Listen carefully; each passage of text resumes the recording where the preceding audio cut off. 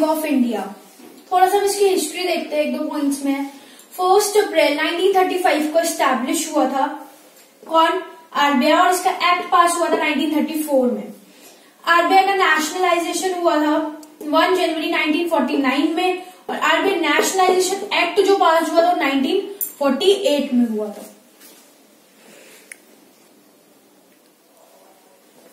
Next we have a governors of RBI British governor, जब RBI establish हुआ 1935 में, act पास हुआ था 1934 में, ठीक है, उस टाइम कौन थे? ब्रिटिश गवर्नर थे mister Osborne Smith 1935 to 1943 after that first Indian governor बने थे हमारे आरबीआई के mister C D Deshmukh 1943 to 1949 next now we have a history of above five to six years before five to six year governor of RBI 2013 से 2016 में थे mister Raghuram Rajan governor of RBI 2016 to 2018 थे mister Urjit Patel who took over from governor in 2018 that is our Mr. Shaktidan Shakti Kanta Das.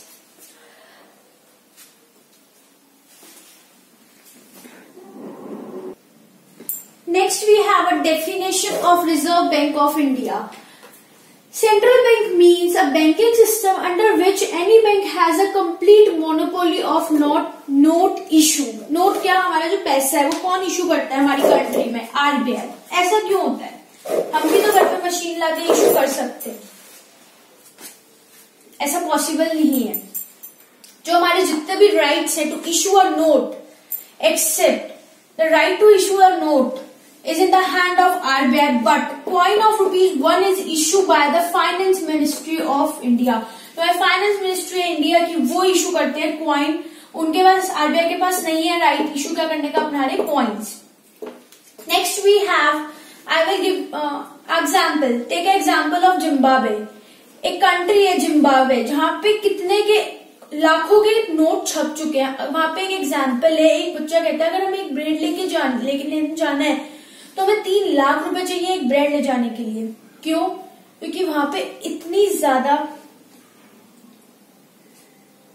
महँगाई हो चुकी है, इतनी ज़्यादा लोगों के पास पैसा है, लोगों के पास परचेजिंग पावर है वह इन्फ्लेशन है। वो कंट्री ऐसी है कि वो इतना ओवर इन्फ्लेशन है, एक इन्फ्लेशन होता है ओवर इन्फ्लेशन ठीक है, लेकिन जिम्बाब्वे एक ऐसी कंट्री है वहाँ पे ओवर इन्फ्लेशन है, वहाँ पे लोगों के परचेजिंग पावर है और जो वहाँ की गवर्नमेंट है वो छापी जा रही है नोट छापी जा रही है। वहाँ पे पता नहीं कितने दस मिलियन का एक सबसे बड़ा नोट छप चुका है वहाँ पे। वो लोग लेके अपने हाथ पे घूम रहे दस मिलियन आप सोच सकते हो आपके पास।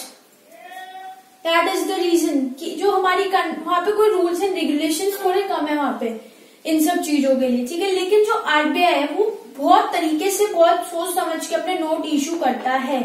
आज चाहे वो दस रुपए के नहीं कितने नोट निकाल दे, आज चाहे वो दो हज़ार के कितने नोट निकाल दे।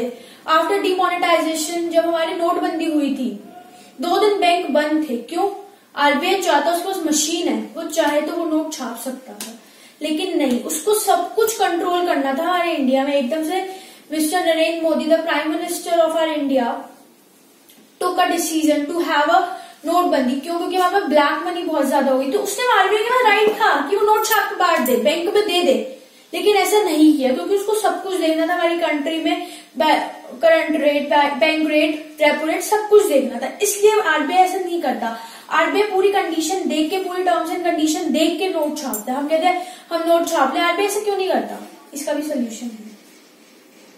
I will tell you afterwards definition should be clear central bank means a banking system under which any bank has a complete monopoly of note issue जिसके बाद मोनोपोली मोनोपोली मतलब एक राइट उसके बाद एक ही एक ही सेलर है, बहुत सारे बायर है। मोनोपोली का यही मतलब होता है ना, जो अपने जनरली पढ़ा इको में, कि एक हमारे पास सेलर है और मैनी बायर्स है। ये चाहे आप पाँच रुपए की चीज़ है ये चाहे पाँच सौ की चीज़ है तो मोनोपोली किसके पास हमारे पास नोट इशू करने की only the Reserve Bank of India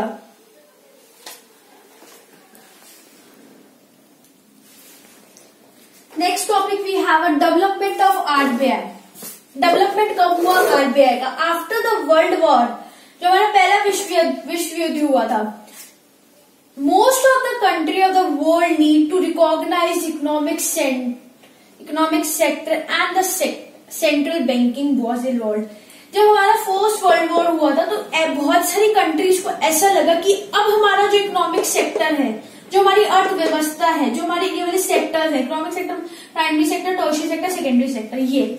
central banking एक सेंट्रल बैंक होना चाहिए हर कंट्री में जो सारे छोटे छोटे बैंक्स लाइक कमर्शियल बैंक को कंट्रोल करे वॉज़ इवॉल्व ऐसी need I after the world war of first इसके बाद हम पढ़ेंगे नेक्स्ट पॉइंट में डेवलपमेंट कैसे हुआ आरबीआई का।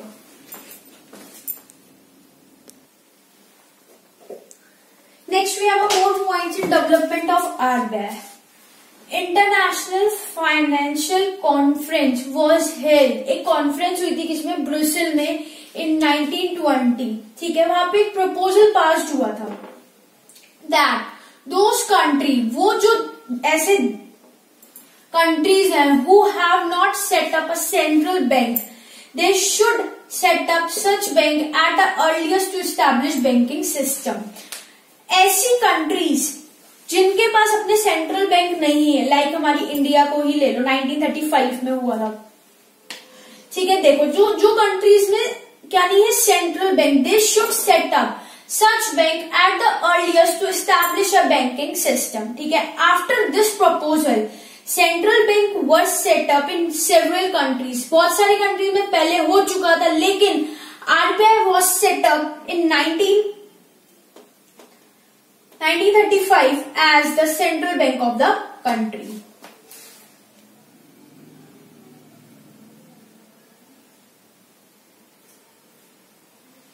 ठीक है एक्ट पास हो चुका था हमारा कब? 1934 में। उसकी वर्किंग स्टार्ट हो चुकी थी स्टैब्लिशमेंट हो चुका था okay it's a mistake it's 1935 as the central bank of the country Next, we have features of RBI.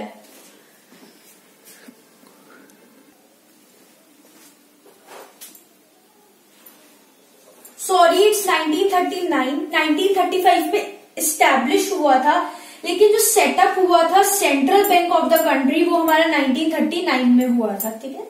Sorry it's a technical mistake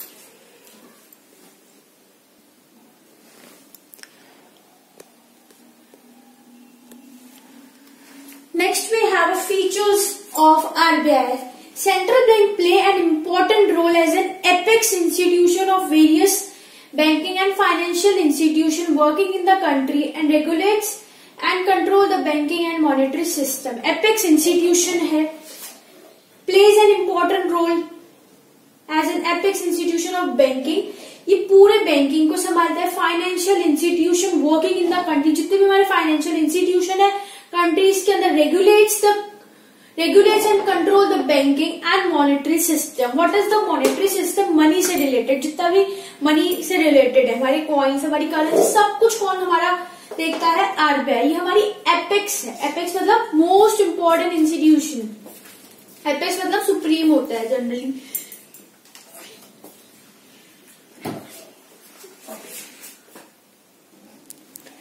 Next we have uh, two more features. Maintaining a stability in inter, internal price level and foreign exchange rate. क्या होता है बेटा internal price level and foreign exchange rate ये इसका मतलब क्या है आज हमारा एक रुपए 69.98 के बराबर है अगर हमें एक डॉलर चाहिए अमेरिका का तो हमें 69.98 मतलब 70 रुपीज़ पे करने पड़ेंगे डॉलर को अमेरिका की कंट्री को। लेकिन उनको अगर हमें एक डॉलर देना है, ठीक है तो हम, उन्हें अगर हमारे कितने चाहिए करेंसी तो उनको कितने डॉलर देने पड़ेंगे? सोचना एक बार कभी, ठीक है?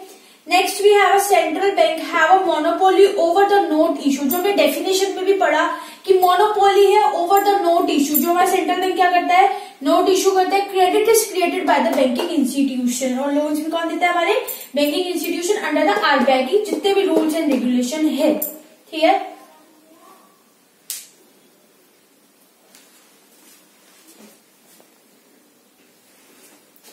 अगर हम 69.98 का एक डॉलर है, ठीक है? कितना है? एक डॉलर है 69. सेवन, एट का एक डॉलर ठीक है? अगर हम अमेरिका में जाते तो हमें सेवेंटी रुपीज़ खर्च करने पड़ेंगे एक डॉलर के लिए। लेकिन अमेरिका वाले हमारे यहाँ आते हैं घूमने तो उनको एक डॉलर में सत्तर रुपए का सामान मिल जाएगा। कितना फ़र्क है?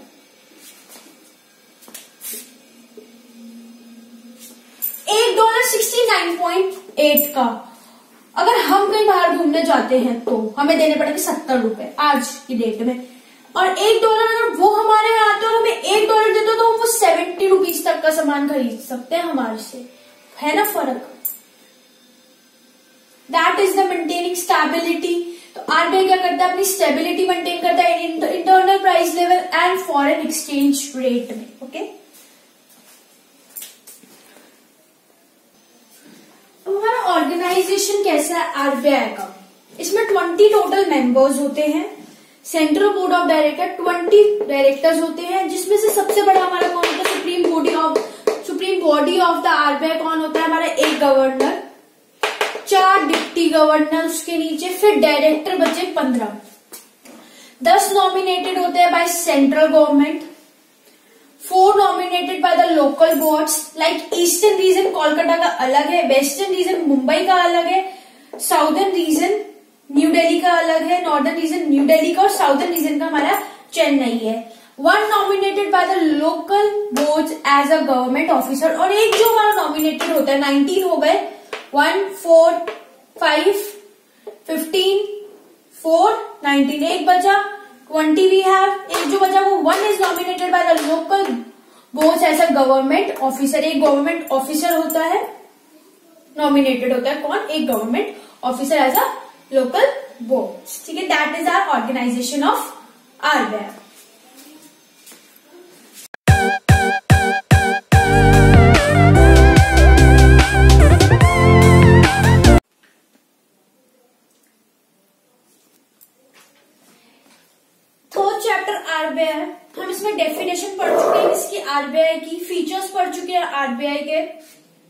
governors पढ़ चुके हैं आरबीआई की आरबीआई की हिस्ट्री पढ़ चुके हैं। अब नेक्स्ट टॉपिक है हमारा credit control by RBI RBI credit को कैसे कंट्रोल करता है? पहले तो हम देखते हैं क्रेडिट कंट्रोल होता क्या है।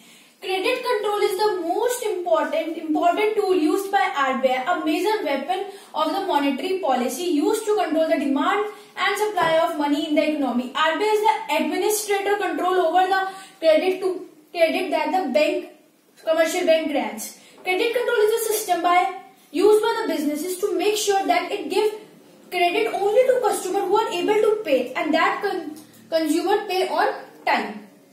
Credit क्या होता क्या है? एक तरीके का लोन इन एडवांसेस है। अब ये क्या होते हैं?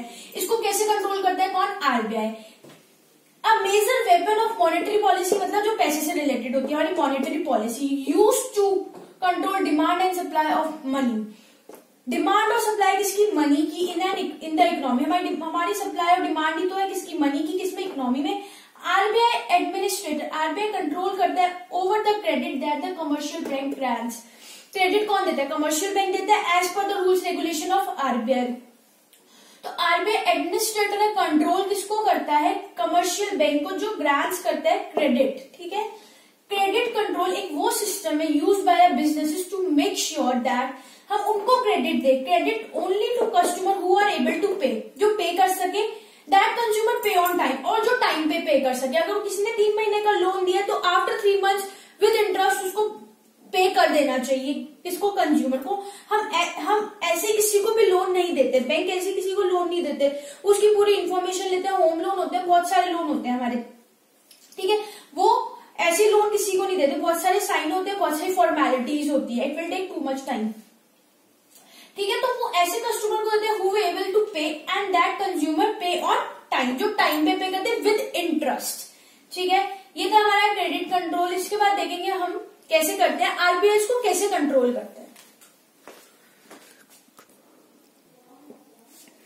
नेक्स्ट है the reserve bank is the most appropriate body to control credit creation creation of credit thus control credit in such a manner so as to bring economics development with stability क्या करता है reserve bank एक ऐसी body है appropriate body है apex body है हमारी। ठीक है एपेक्स बॉडी हमने पहले ही पढ़ा था इसके फीचर्स में।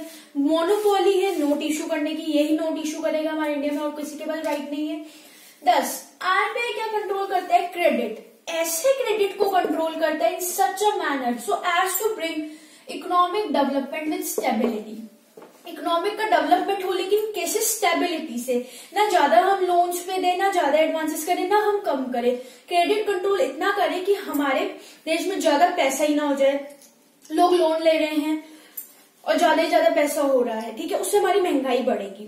लोग लोन ही नहीं ले रहे तो उससे हमारी हमारे लोगों के पास पैसा ही नहीं होगा, वो किससे सामान खरीदेंगे? तो उसमें वो भी कंडीशन गलत है और महँगाई भी गलत है, ये दोनों कंडीशन गलत है तो वो आरबीआई यही कह रहे हैं। आरबीआई ऐसे क्रेडिट कंट्रोल करता है so as to be economic development with stability अब दो इंस्ट्रूमेंट है क्वांटिटेटिव जो क्वांटिटी है क्वालिटेटिव क्वांटिटेटिव हम नेक्स्ट पढ़ेंगे क्वालिटेटिव उससे नेक्स्ट ठीक है? मैं नेक्स्ट टॉपिक है quantitative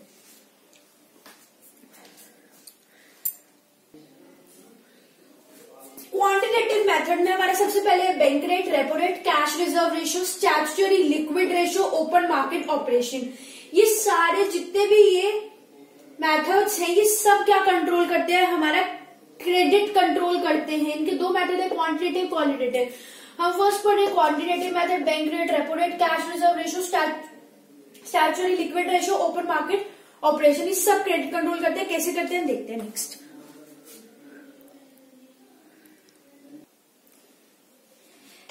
Now we have first bank rate. It is the rate at which central bank grants loans to commercial bank against the securities of government. बेटा, क्या होता है? कमर्शियल बैंक के पास पैसा कहाँ से आता है। कमर्शियल बैंक को लोन की नीड पड़गी। किससे लेगा? Bankers of bankers apex body are central bank ठीक है? उन्होंने सेंट्रल बैंक से लोन लिया, ठीक है? अगेंस्ट द सिक्योरिटी वो भी कुछ सिक्योरिटीज रखते हैं of government it is a long term securities कैसे लॉन्ग टर्म सिक्योरिटीज हमारा करंट में बैंक रेट चल रहा है six point seven five percent अब क्वेश्चन ये आता है कि ये बढ़ता क्यों है? ये कभी सिक्स पॉइंट सेवन फाइव हो जाता है, कभी फोर परसेंट हो जाता है, कभी फाइव परसेंट ये ऐसा क्यों होता है? ये ऐसा इसलिए होता है, देखो नेक्स्ट लाइन पढ़ो. RBI increase bank rate at the time of inflation to control the credit छह परसेंट कर दिया. RBI decrease the bank rate at the time of deflation to control the credit पहले तो पढ़ते हैं इन्फ्लेशन क्या होता है? इन्फ्लेशन बेटा वो कंडीशन होती है इकोनॉमी में कि जब हमारी डिमांड बहुत ज़्यादा है, जब हम लेने के लिए तैयार है, बहुत ज़्यादा महँगाई है, और हमारी जो सप्लाई है वो कम है, हम, हमारी डिमांड तो है टेन की, हम टेन पीस प्रोड्यूस कर रहे हैं किसी भी क्वांटिटी के, किसी भी प्रोडक्ट के, और हमारी डिमांड है। हम सप्लाई हमारी सप्लाई कितनी है? टेन टेन पीस और हमारी डिमांड कितनी? फिफ्टीन पीस ट्वेंटी पीस लेने के लिए तैयार है लोग। तो उसकी प्राइस ऑटोमेटिकली बढ़ेगी ना? बढ़ेगी, बिल्कुल बढ़ेगी। तो लोग क्या करते हैं? इकोनॉमी में क्या करते हैं? बैंक रेट को बढ़ा देते हैं इन्फ्लेशन में। बैंक रेट इसके लिए बढ़ा? आरबीआई कमर्शियल बैंक के लिए बैंक रेट बढ़ गया। सिक्स परसेंट उसको पे करना है आरबीआई को तो वो आगे एट परसेंट किसको देगा? लोगों को। कमाएगा भी तो सही। छह परसेंट तो उसको देना है। वो बढ़ा देता है बैंक रेट ठीक है? कौन बढ़ा देता है? आरबीआई बैंक रेट बढ़ा देता है। आरबीआई डिक्रीज कब कर देता है bank rate at the time of deflation deflation क्या होता है? कि हमारी सप्लाई सप्लाई हो रही डिमांड नहीं है। लोगों के पास पैसे ही नहीं है खरीदने की परचेसिंग पावर ही नहीं है। तो ये क्या कर देता है? बैंक रेट को कम, कम कर देता है। अब ये तो बैंक रेट हमारी तरफ़ से सिक्स परसेंट हो जाएगा। कमर्शियल बैंक का क्योंकि फोर परसेंट तो उनको इनको देना है। बिल्कुल देना पड़ेगा। ठीक है, यही है। It is the rate at which the central bank grants loan किसको देता है?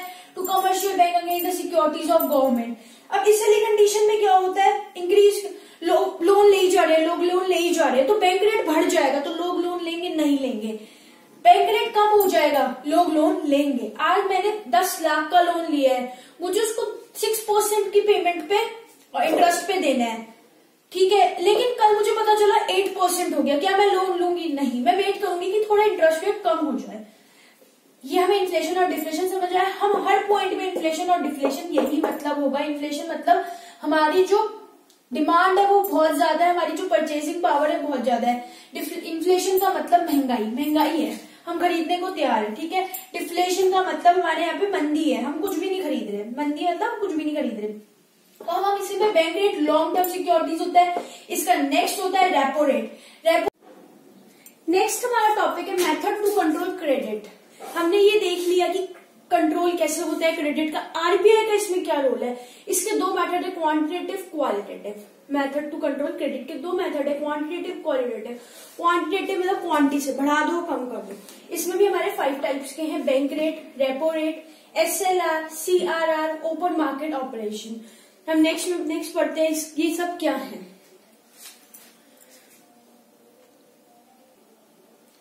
क्वांटिटेटिव में हमारा फ़र्स्ट है bank rate it is the rate at which central bank grants loan to the commercial bank against the securities of government.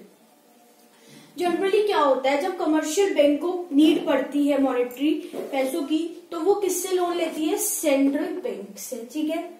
Bank is a long term security हम इसको example से समझते हैं डेफिनेशन और इससे कुछ भी समझ नहीं आया देखो पीएनबी को नीड पड़ी बैंक से। लोन की, दे दिया। कितने परसेंट पे? बारह परसेंट पे, ठीक है?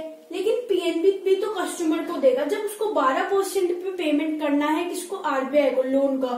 तो वो हमसे कितना, हम, हमें कितना परसेंट देगी? चौदह परसेंट अपना दो परसेंट क्या रखेगी? मार्जिन ठीक है?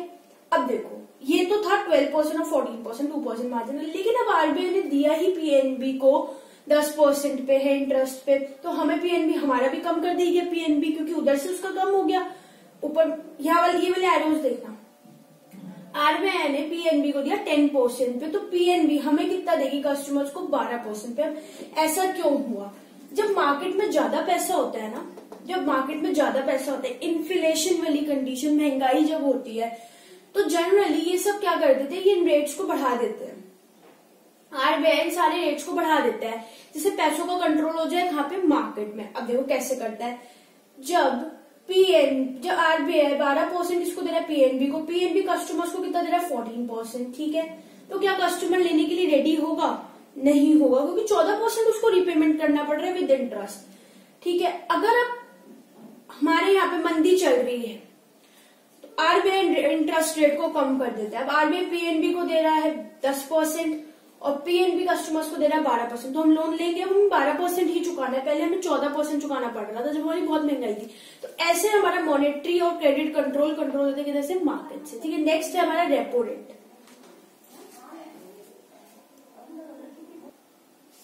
नेक्स्ट है हमारा रेपो रेट ये भी बहुत सिंपल है सेम है। लेकिन ये सिर्फ़ शॉर्ट टर्म के लिए होता है। बस इसमें ये चेंज है, बस। जो हमारा बैंक रेट होता है, वो लॉन्ग टर्म के लिए होता है। It is the rate at which central bank of a country lends money to commercial bank to meet short term need ठीक है? ये शॉर्ट टर्म के लिए होता है और जो हमारा बैंक रेट होता है, वो लॉन्ग टर्म के लिए होता है। बस इसमें इतना सा डिफरेंस है। अगर इसका भी रेट बढ़ा दे रेपो रेट का रेट बढ़ा दे कौन? आरबीआई तो हमारा कमर्शियल बैंक हमें लोन पे जो हमें रीपेमेंट करना है, वो भी बढ़ा देगा, जो सेम एग्ज़ाम्पल जो मैंने आपको बैंक रेट में दिया था, ठीक है? Same as it is example इसमें आएगा बट ये शॉर्ट टर्म नीड्स के लिए होता है, ठीक है? कौन लेते हैं? कमर्शियल बैंक किससे? आरबीआई से central bank of a country next है हमारा लीगल लीगल रिक्वायरमेंट रिज़र्व इसमें भी हमारे दो आते हैं सीआरआर और एसएलआर सीआरआर क्या होता है? Cash reserve requirement it refers to the minimum percentage of demand and time liability to be kept by commercial bank with the central bank RBI के बेटा कुछ रूल्स एंड रेगुलेशन है किसके लिए कमर्शियल बैंक्स के लिए, कि आप अपना कुछ to meet minimum percentage of demand and time liability to be kept by commercial bank with the central bank एक बात बताओ, हम बैंक में पैसा रखवाने से डरते क्यों नहीं है? बैंक में भी तो चोरी हो सकती है। बैंक में भी तो आग लग सकती है। कुछ भी हो सकता है। नेचुरल कैलिमिटीज थेफ्ट कुछ भी हो सकता है। तो हम बैंक में डरते क्यों नहीं? क्योंकि बैंक हमें बाद में रिपेमेंट कर देता है। वो कौन करता है? हमारा कमर्शियल हमारा आरबीआई करता है। कौन करता है? सेंट्रल बैंक ये क्या करते हैं कमर्शियल बैंक थोड़ी सी थोड़ी थोड़ी थोड़ी थोड़ी हर डिपॉजिट में से थोड़ा थोड़ा थोड़ा थोड़ा अमाउंट सेंट्रल बैंक के पास रखते हैं। ठीक है, अब इसमें नेक्स्ट हमारा जो टॉपिक है वो फ़ंक्शन है जिसके आरबीआई के। तो उसमें पढ़ेंगे लैंडर ऑफ़ लास्ट रिजोर्ट जो हमारा आरबीआई है वो लैंडर है लास्ट रिजोर्ट का। तो आरबीआई क्या करता है उस टाइम में ये वाला पैसा निकाल के देता है किसको कमर्शियल बैंक को ठीक है एक होता है S L R statutory liquid requirement. It refers to the minimum percentage of net demand and time lending which commercial bank are required to maintain with themselves जो अपने पास रखता है अब देखो एक एग्ज़ाम्पल से समझते हैं थाउज़ेंड रुपीज़ की हमारी डिपॉजिट आई 800 हमने लोन पे दे दिया। 200 में से भी हमने सीआरआर सौ रुपए हमने सीआरआर को दिया, किसको दिया? कमर्शियल बैंक को। और सौ रुपए हमने अपने पास रखे। क्यों? हमसे कोई पैसे लेने नहीं आ सकता। आ सकता है अपनी डिपॉजिट में उसको निकलवाने आते फिर हम उसको क्या देंगे? तो ऐसे करते करते वहाँ बहुत सारा अमाउंट हो जाता है। बैंक के पास हज़ार रुपए की डिपॉजिट नहीं आती। ये जस्ट एन एग्ज़ाम्पल है जस्ट एन एग्जामेशन लेके चलना। कभी भी बैंक के पास हज़ार रुपए की डिपॉजिट नहीं आती। पूरे दिन की डिपॉजिट में से वो सीआरआर और एसएलआर रखता है। ठीक है? कुछ वो देता है किसको? कमर्शियल बैंक को। कुछ वो देता है, अपने पास रखता है। अब देखो, अब इसको कैसे कंट्रोल करती है? महँगाई और मंदी में। जब महँगाई होती है तो इस वाले रेट को बढ़ा देती है। कौन? सेंट्रल बैंक तुम अब फिफ्ट अब तुम टेन परसेंट रख रहे हो कमर्शियल बैंक सेंट्रल बैंक को टेन परसेंट देना ट्वेंटी परसेंट दो। क्या दो? ट्वेंटी परसेंट रखो किसका सेंट्रल बैंक के पास। एसएलआर में यही होता है सेम अपने पास भी थोड़ा ज़्यादा अमाउंट रखो। ये सब है हमारा महँगाई और मंदी को कंट्रोल करने के लिए। ये सारे रेट्स बढ़ जाते हैं, ये सारे रेट्स कम हो जाते हैं जब हमारी मंदी होती है। इट दोबारा बढ़ते हैं। सीआरआर क्या है? कैश रिज़र्व रेशो वो से ही समझ आ रहा है कैश का रिज़र्व का ratio statutory liquid ratio it refers the minimum percentage of demand and time liability to be kept by the commercial bank किसके पास रखना पड़ता है? विद सेंट्रल बैंक सबके जितने भी हमारे कमर्शियल बैंक है, सबके अकाउंट कहाँ पे है? सेंट्रल बैंक में उनका बहुत सारा पैसा सेंट्रल बैंक के पास पड़ा है। और बहुत सारा पैसा उनका अपने पास भी पड़ा है ऐसा उनकी अपनी डिपॉजिट का। ठीक है एसएलआर क्या है? It refers to minimum percentage of net demand and time liability with the commercial bank are required to maintain with them self ठीक है?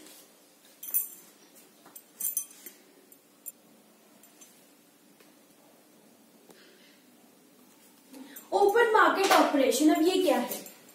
It refers to buying and selling of government securities by the central bank from to the public and commercial bank क्या होता है? Open market operation इसमें जो central bank होता है, उसके पूरा राइट होता है कि वो जो गवर्नमेंट की सिक्योरिटीज टर्शरी बिल गवर्नमेंट की प्रॉपर्टीज़ उनको सेल कर दे उनको बाय कर दे किस कंडीशन में करता है? सेल और बाय जब बहुत ज़्यादा महँगाई है, लोगों के पास पैसा ही पैसा है तो वो सेल करता है सिक्योरिटीज को। क्या करता है? सेल उनके पास सिक्योरिटीज चली जाती है, पैसा आरबीआई और कमर्शियल बैंक के पास आ जाता है। तो पैसों का कंट्रोल हो गया मार्केट के अंदर। अब मंदी चल रही है तो वो बाइंग करता है। बाइंग कैसे करता है? लोगों को पैसा दे देता है और अपनी सिक्योरिटी एक पेपर टाइप होता है टर्शी बिल वो ले लेता है। तो वो मार्केट में पैसा फैल जाता है। That is are known as open market operation दोबारा देखते हैं। It refers to the buying and selling of government securities by the central bank from the public and commercial bank in the inflation, जब बहुत ज़्यादा महँगाई है तो वो सेल करता है सिक्योरिटीज को। जब बहुत ज़्यादा मंदी चल रही है डिफ्लेशन हमारी मंदी होती है the RBI buying the securities ठीक है सिक्योरिटीज ठीक। एक पेपर टाइप होता है, जैसे रोजी बिल हो गई कोई भी प्रॉपर्टी होगी कुछ भी हो गया, वो सब होता है, ठीक है?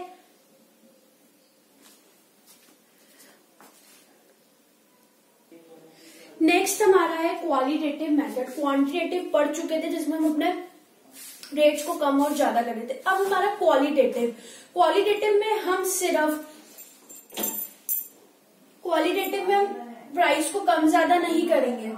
हम कुछ फिक्सेशंस कर देंगे, कुछ रिस्ट्रिक्शंस लगा देंगे लोन्स पे, ये सब करेंगे। हम अमाउंट को कम ज़्यादा नहीं करेंगे, क्योंकि हमारा क्वालिटेटिव मेथड है क्वालिटी से मेरिट हम इसमें क्या करेंगे? लोन्स को कम कर देंगे। इस सेक्टर में लोन मत दो, इस सेक्टर में लोन दो। ठीक है? इतना लोन दो, इतना लोन मत दो। देखो, पहला है हमारा सेलेक्टिव क्रेडिट कंट्रोल आरबीआई क्या कहता है?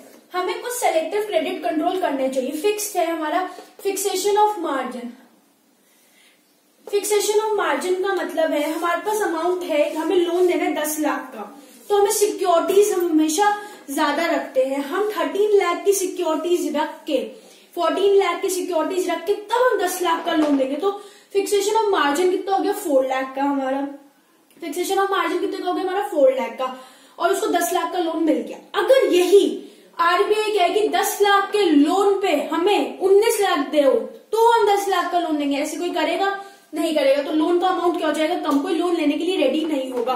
मार्केट में सप्लाई ऑफ़ मनी ऑलरेडी कम हो जाएगी। लेकिन हम क्या हमें दस लाख का लोन चाहिए तो हमें बारह लाख की सिक्योरिटी सब रेडी हो जाएँगे लोन लेने के लिए। फिर हमारा सप्लाई ऑफ़ मनी बढ़ जाएगी। पब्लिसिटी आरबीआई क्या करता है जनरली पब्लिसिटी करता है। किस चीज़ की? अपने। The RBI may allow the policy of publicity in order to make known to the public its view about credit expansion in contract. It may issue warning to people of commercial ये क्या करता है? एक views रखता है। किसमें? Credit expansion और उसमें क्या? उसमें अपने फैक्ट्स बताता है। पब्लिसिटी करता है। उसमें अपने फैक्ट्स बताता है। व्यूज़ बताता है। ठीक है? पहले सुन लो, मैं आपको लिखवा भी दूँगी इधर, लिख भी देंगे हम अभी। पहले एक बार सुन लो पब्लिसिटी जनरली होता क्या है?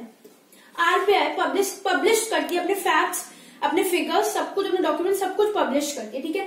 Direct action RBI direct action ले सकती है अगर commercial bank under the banking regulation act the RBI power to initiate direct action against those commercial bank which ignore its advice जो उनके एडवाइस को नहीं मानता in such case RBI can can impose restriction on sanctioning of loan and advances winding up of Karad in 1992 because of financial irregularities अगर हम कोई बात नहीं मानते किसकी आरबीआई की अगेंस्ट द क्वालिटेटिव मेथड तो आरबीआई डायरेक्ट एक्शन ले सकता है। ऐसे ही हमारा बैंक ऑफ़ करार बंद हो चुका था।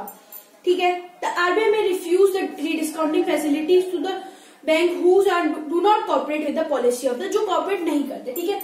नेक्स्ट है। हमारा model suasion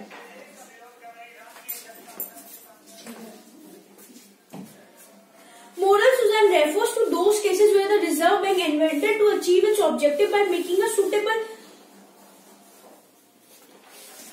RBI क्या कर देता है कि इस सेक्टर में लोन मत दो। मोरल सुजैन इसको बोलते हैं मोरल सुजैन इस सेक्टर में लोन मत दो, इस सेक्टर में लोन दो। मैं तीन सेक्टर होते हैं प्राइमरी सेकेंडरी और टर्शरी ये आरबीआई हमें डायरेक्शन देते हैं कि इस सेक्टर में ज़्यादा लोन मत दो। जहाँ पे ज़्यादा प्रोडक्शन है, वहाँ ज़्यादा लोन दो। अनप्रोडक्टिव वर्क्स में लोन मत दो। तो हमारा अपने आप सप्लाई ऑफ़ मनी कम हो जाएगा। अब हम इसकी थोड़ी थोड़ी थ्योरी पढ़ते हैं।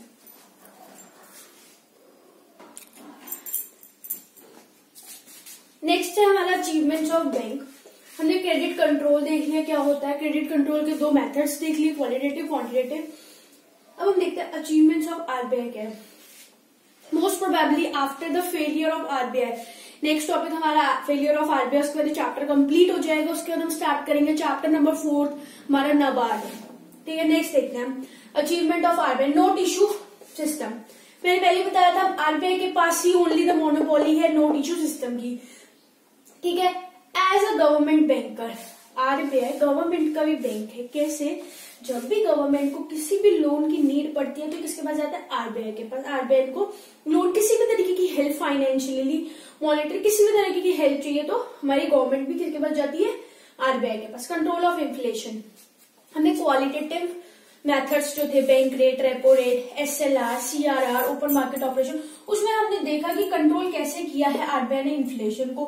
Amalgamation of bank amalgamation means merging of bank weak bank को एक स्ट्रॉन्ग बैंक में मर्ज कर दो, जो हमने पढ़ा था रोल ऑफ़ इकोनॉमिक डेवलपमेंट का बैंक में, ठीक है? प्रोटेक्शन ऑफ़ फॉरेन रिज़र्व को भी प्रोटेक्ट करता है कौन? RBI as an adviser to the government advice भी देता है किसको? गवर्नमेंट को. एग्रीकल्चर फाइनेंसिंग करता है नबार्ड हमारा एक इंस्टीट्यूशन है जो किसको हेल्प करता है? फाइनेंशियल इंस्टीट्यूशन है नबार्ड जो agriculture SSI small scale industries को हेल्प करता है। उसको भी आरबीआई फाइनेंस देता है एग्रीकल्चर फाइनेंस ठीक है? नेक्स्ट चैप्टर हमारा नबार्ड ही। Help in bank in emergency bank के पास लोन का अमाउंट खत्म हो चुका है। बैंक के पास डिपॉजिट्स नहीं आ रही तो किससे हेल्प लेगा? बैंक को किसी चीज़ की नीड चाहिए, किससे हेल्प लेगा? आरबीआई से। तो कुछ इसके अचीवमेंट्स है, ठीक है? नोट इश्यू ये करता है एज अ गवर्नमेंट बैंकर है कंट्रोल करता है इन्फ्लेशन को एमेलिकमेशन करता है प्रोटेक्शन करता है. As an adviser of government agriculture का फाइनेंस देता है help in bank emergency credit control policy हम बहुत अच्छे से पढ़ चुके हैं. इससे पहले पढ़िए, बहुत अच्छे से हमें पता है क्या होता है क्रेडिट कंट्रोल क्या होता है, उसकी पॉलिसीज़ दो है. है ना?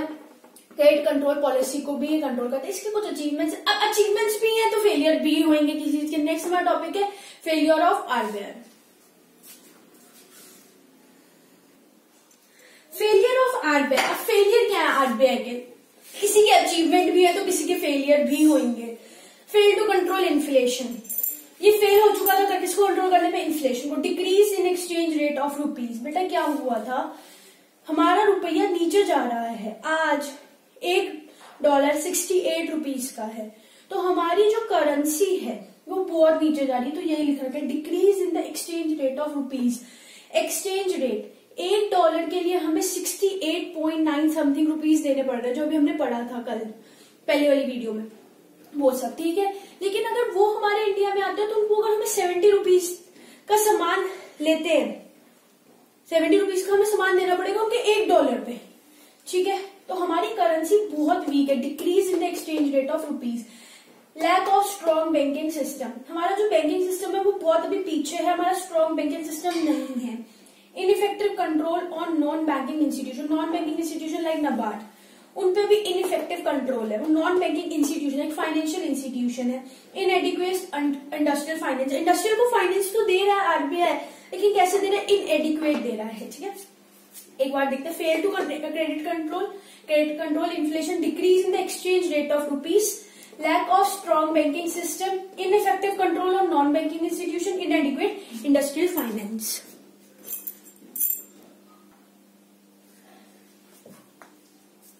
Next more few points of failure of RBI lack of developed bill market जो हमारी बिल मार्केट है, वो बहुत ज़्यादा अनडेवलप है। जैसे हमारे टर्शरी बिल हो गए कमर्शियल पेपर हो गए, बहुत ज़्यादा अभी कैसे डेवलप नहीं लैक है अभी डेवलप हो रही है ये सब चीज़ें। बिल मार्केट हमारी डेवलप हो रही है, ठीक है? इन इक्वल इंटरेस्ट रेट जो आरबीआई इंटरेस्ट रेट देख रहा है, वो इन इक्वल है, ठीक है? इन एडिक्वेट एग्रीकल्चर एग्रीकल्चर को भी जो क्रेडिट दे रहा है, वो अनइक्वल है। अनएडिक्वेट है। Lack of publication of data जो हमने अभी पढ़ा किसमें पब्लिसिटी में, हमने पढ़ा था जो आरबीआई क्या करता है, अपने जो फैक्ट्स फिगर्स डॉक्यूमेंट्स है, उसको पब्लिसिटी करवाता है, ठीक है? वो क्या है? लेट पब्लिकेशन ऑफ़ डेटा जो आरबीआई के थ्रू वो लेट हो रहे हैं क्या डेटा लेकिन हमें जो फैक्ट्स और फिगर है, वो टाइम टाइम पे चाहिए, जिससे हमारे जो यहाँ के कस्टमर्स हैं, वो फाइन वो लोन ले लोन दे, अपनी डिपॉजिट करवाए, क्योंकि उनका ट्रस्ट भी एक बहुत मैटर करता है किस पे? हमारे कमर्शियल बैंक पे, ठीक है? और वो आरबीआई हमारा। ठीक है central bank of our country ठीक है? The chapter is finish RBI reserve bank of India हम इसकी डेफिनेशन पढ़ चुके हैं, इसकी हिस्ट्री पढ़ चुके हैं, हम इसमें कुछ गवर्नेंस देख चुके हैं। उसके बाद हम इसमें क्या देख चुके हैं? उसके बाद हमने इसके फीचर्स देखे क्रेडिट कंट्रोल देखा अचीवमेंट्स देखे, और लास्ट टॉपिक था हमारा फेलियर ऑफ़ आरबीआई ठीक है? अब नेक्स्ट चैप्टर है हमारा नबार्ड